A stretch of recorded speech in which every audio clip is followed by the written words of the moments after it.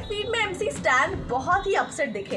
अकेले बैठकर काफ़ी ज़्यादा सोच विचार करते हुए आए नज़र। आखिरकार एमसी स्टैन क्यों है अपसेट आइए जानते हैं इस वीडियो में। नमस्कार, मैं सिकदा स्वागत करती हूँ आप सभी का हमारे चैनल पर।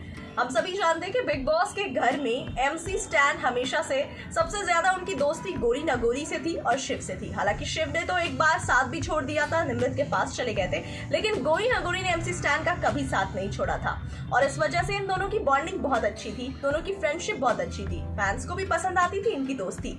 लेकिन अब गोरी के एविक्शन के बाद एमसी स्टैन कहीं ना कहीं अकेले पड़ गए हैं। और अब इस वजह से वो काफ़ी अपसेट नज़र आ रहे हैं। लाइव फ़ीड में भी देखा गया कि एमसी स्टैन बिल्कुल शांत और अपसेट बैठे हुए हैं।